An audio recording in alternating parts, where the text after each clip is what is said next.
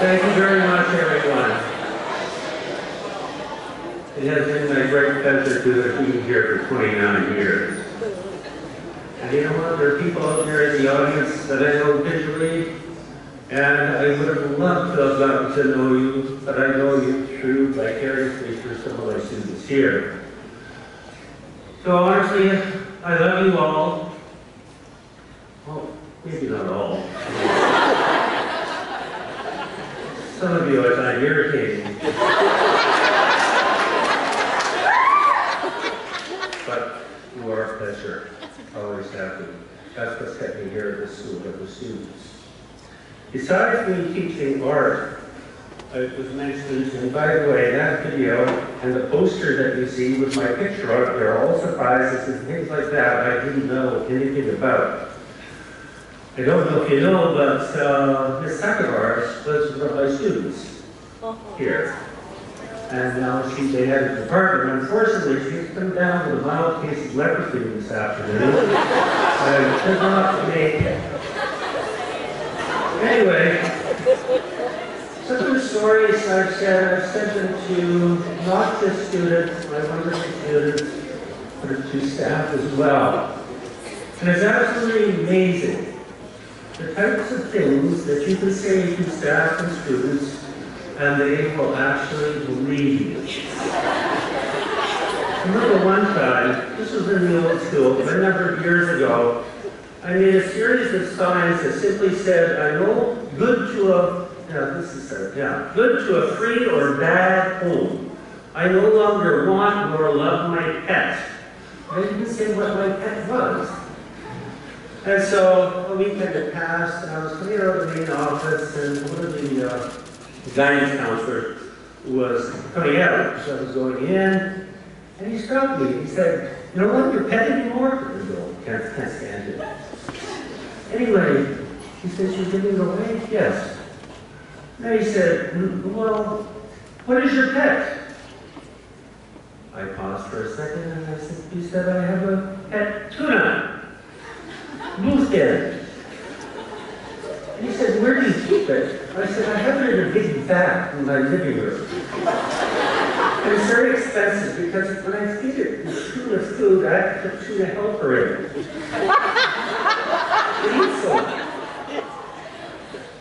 so I said, you want it? He said, no, no, that's okay. Anyway, so I left him.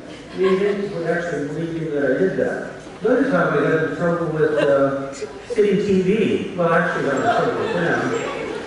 It was a Friday, and it was a Valentine's Day, and I was walking um, on Yonge Street north towards Bloor. And there was City TV, and I was, uh, and I was walking along, it appeared to be a girlfriend. She was not.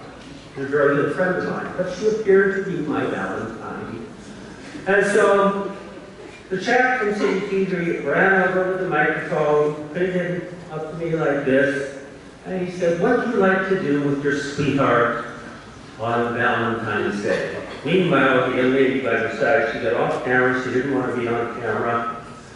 And I said, well, I like to cuddle up in front of a crackling fire, have some nice white wine and ice, soft music, and then eat a whole bag of walnuts. the whole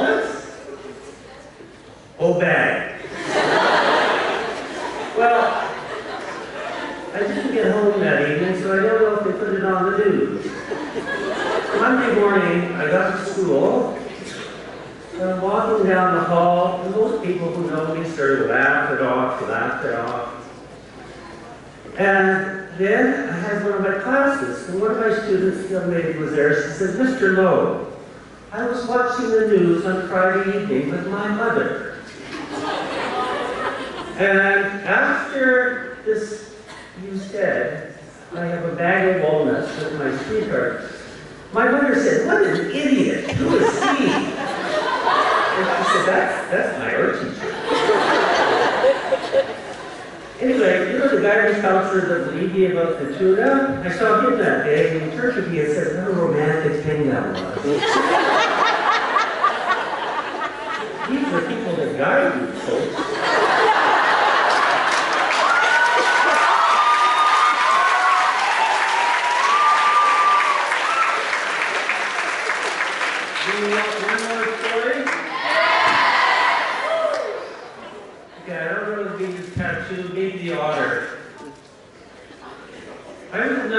For five weeks. It was a certain school that, um, in my senior class, I was the only male not festooned with tattoos.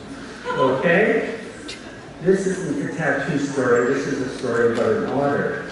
And it seems that some people are not well versed with flora and fauna. Some people don't know what an otter is. So I came in to my class, and I was very, very miserable, and I said, oh, I had a horrible start to my morning. And there was only one student there, he was finishing, uh, actually, we were finishing class, and he was washing his hands. He said, well, Mr. Low, what happened? I said, well, I left my apartment, and when I en- uh, came out the front door, I slipped on an otter. He said, otter? Yeah, an otter. He said, you must live downtown, sir. I said, yes, I do. I live downtown. I said, the area is festooned with otters. And so, he said, are those things venomous, sir? I said, darn right you are. Worse than a cobra. He did not know what an otter was. So I said, so I went upstairs, I got myself a two by four. I went downstairs and whacked the otter, stuck the two by four in the ground, and draped the otter over it. And all the other otters go around that. And you know what? That morning, I remember distinctly that I even sprayed myself with Otter Be Gone. And yet, I still slipped on an otter. To this day, this young gentleman believes this story. Now, apparently, we're going to have some sort of a hug. Um, I see Mary holding some bushes over there. Sure if I have a planner to put them in, but I've so kind so they will buy something. It has been my great pleasure, I miss all of you that I do not know, and those that I do, and cherish my many memories here. Thank you.